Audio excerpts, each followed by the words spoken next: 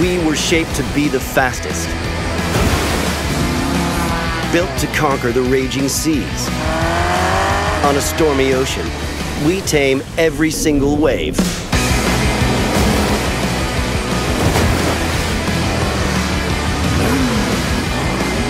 We belong to the open waters. Where do you belong?